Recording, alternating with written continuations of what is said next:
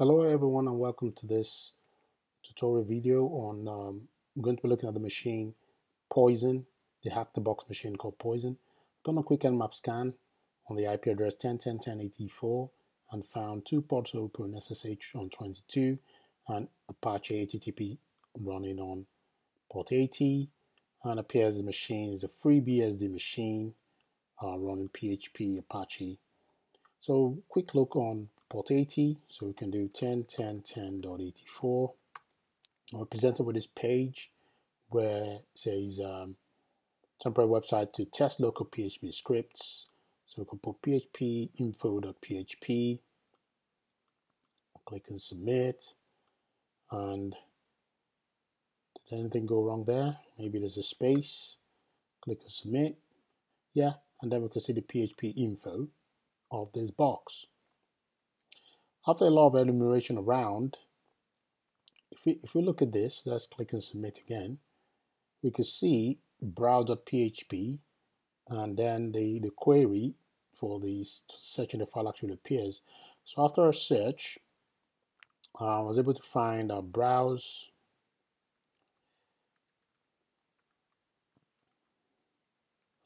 browse PHP exploits database and there's a directory transversal exploit that was disclosed in 2016 regarding this vulnerable application saying you could actually even read vulnerable to um, directory path transversal allows an attacker to access files and directories stored outside the root folder. So we could see here, I might be able to read the password file. So let's just type that in, etc dash pass wd, click and submit, and we're presented with a file uh, with the password containing the password file. So we can see here we've got a user called Charix home Charix bin ch. Um, we might see if we can read the shadow file. No, a response. Uh, one thing we might try to do again is to go to that directory home Charix and try to see if got any SSH keys we could use to log in via SSH. SSH and uh, the user role will be ID underscore RSA. And we get permission denied or probably the file doesn't exist. So we know we have a user called Charix. So let's enumerate more. List files PHP. Copy that in, paste, submit. And we can see an array there's an interesting file here called pwd backup txt. So I had a quick look at that one, see maybe there's some juicy information. And we get this uh, base 64 encoding saying the password is secure is encoded 13 times. So all I did was to copy this into uh, a text file and make sure everything was neat and tidy. Copy that out and try to decode it. You could probably do this probably by writing a script to de decode this 13 times, but I was just being lazy and um, just did a Google search for Space64 decoder encoder, and that's the site there, and just copy that, pasted that into this, and within some few seconds should be able to decode. So decode this way, decode that way, decode this way, decode that way, about 13 times.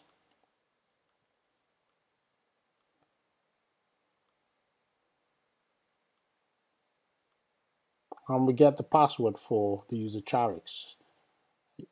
So copy that and do SSH Charix uh, at 10.10.10.84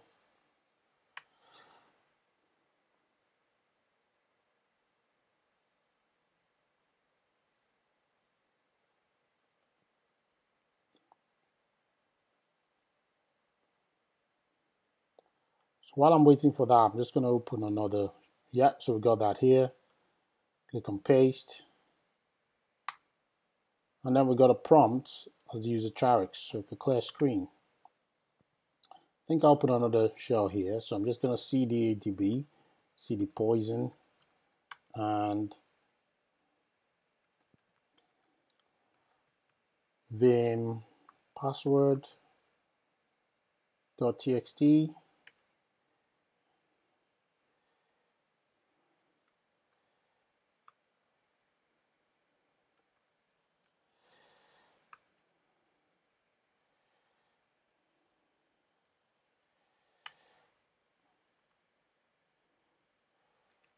just use nano, paste that in, and just save that for later. So if we enumerate here, we got, um, I don't know, probably some people are also on this box putting this, but originally you should have just these two files. So we have secret zip and user.txt. So do a list, long list. You can see this file belongs to root and also this user file belongs to you and the user the group user called Charis can actually read both files. So we could do wc the c user the txt and get the 33 characters of the um, user flag. So we have to then go on to um, privilege escalation on this box. So this file was quite interesting. So what I did was to transfer this file onto my machine, try to unzip it there because he actually asked for a password. So a quick way to transfer a file because I could use netcat, so I can see which netcat, netcat is installed. And I do nc, the genv 10, the 10, the IP address of my machine, I think is 15,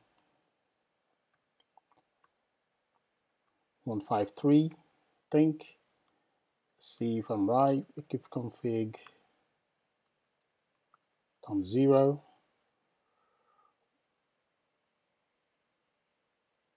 Yeah, 143. So 143 on port 80 and I'm going to send this file secret.zip and on my box listen VLP 80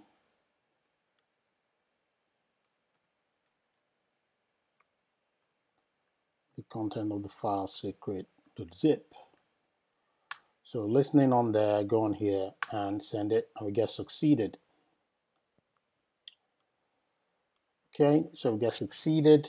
Just gonna give you a bit time, and this long list we can see the secret zip file got 166 bytes, which is consistent with this 166 byte. Should have reverted this box probably before, so because the two files view uh, is actually user txt and zip. So I tried to unzip this, secret to zip, prompts for a password. I supplied the password we decoded earlier on, paste, and then list, we got a file secret and says it's a non-ISO extended ASCII file. Try to cut the file and some weird characters on the file. So we're just going to keep that for later. So on here we can go on to enumerate. So what I did was to do a psaux to look at the services actually running on this box. So one thing that was clear here was we have root user running xvnc on channel 1 on the, via the desktop. The user is actually using VNC to remotely connect to this box. So we can, you know, you can do a search about XVNC. And you can see XVNC Tiger VNC. Um, it's a virtual scale rather than a physical one, which you could a user could use to connect remotely to the to a machine and you got options on different parameters you can use in order to to access um, VNC server. So we can see here we've got RF password file and that give a hint on the file we found might actually be a password file for XVNC. So if you look at blog here or this uh, manual says default 5800 sometimes we also have default on 5900. So we clear screen, so list, got our secret file, we could do xvnc, so that should help. You can see the flags and parameters we can use. So do xvnc, auth secret, it says um, listening on TCP port 5900. So we can try to connect using VNC viewer. So I can do VNC viewer, help, get the flags, and we can see it's asking also for the password file. So I do VNC viewer password. Try to connect to the machine on 10.10.10.10.84 on port 5900. So part of password file, secret. And we get this window to the user poison and it's not actually quite clear to user Charik, sorry, on desktop running on zero. But if we go back to the result of our enumeration here, PSOX, and have a look again, you can see XVNC for the for for the user roots. So let me just do PSOX grep root. And we can see the user root is actually on channel 1. So how can we then connect to channel 1? So if we do the same thing we did before, xvnc, um, auth file, secret, and we go on here and try to connect to the user on channel 1. So we get connection refused, unable to connect to the server. On here, I think we could do desktop um, 1 and it's still saying we connected on 500 see if we try to connect here. It says refused. So I'm trying to see if we can open up here. So xvnc dash auth authentication file secret.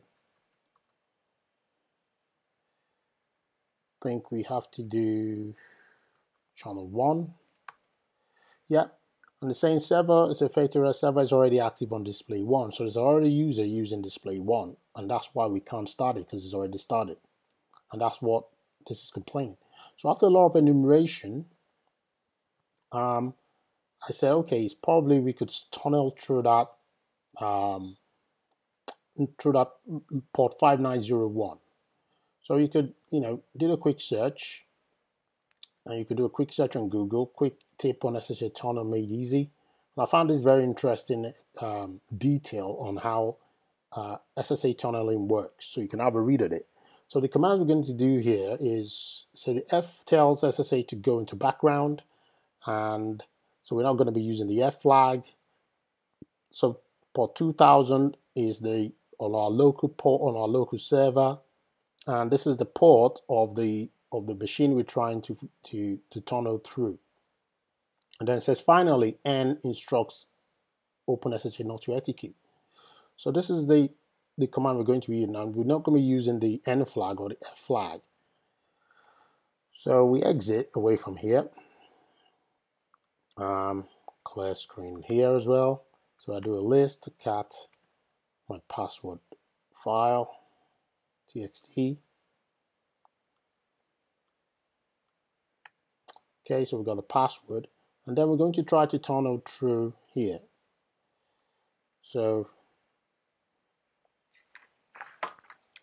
um, so we do SSH user Charix at 10.10.10 10.84 um, so the L flag L and we want to listen on our own local port 5800 so we give our local port 5800 local host and um, we want to tunnel through to this port 5900 because this is where root user is listening but Charix is listening on 5900 the default one. So we could click on enter there. Should get a prompt to supply the password.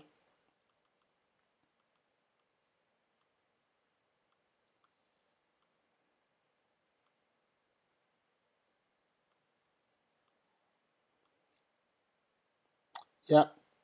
So we can go in here now and click on enter. Good.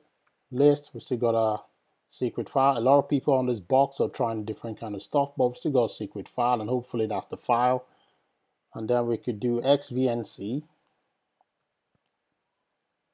xvnc, and supply the auth flag secret. And then we go in here. So we start that there. So listening on 5900. And then we could go in here and do VNC viewer if everything is right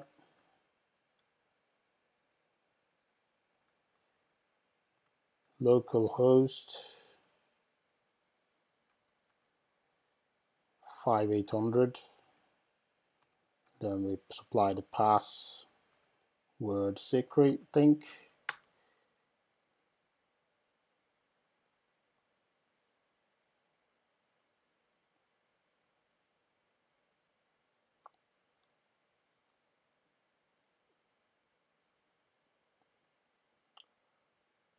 Anything coming up?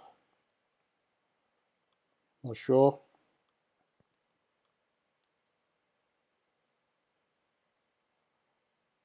Probably I got a, I got an error with my command there. I have to try that again.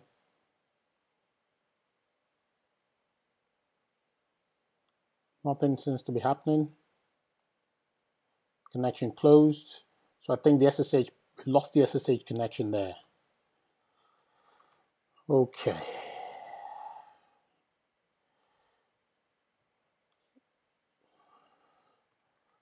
So I'll change this to 5900. Try that again. Connection fees, so probably the Burks have been reverted. So I'm just going to wait to see if the box to come back online.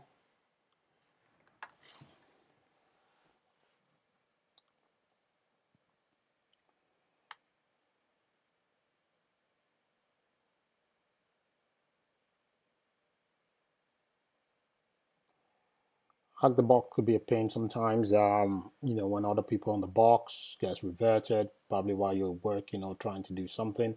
So I get the password here again. So put that in, and then I just run that command again. But I'm not sure I have my file now, so that might be an issue. So list, the file's gone. So like I mentioned originally, this is what needs to be there.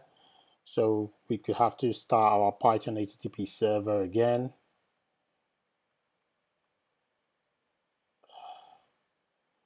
There. wget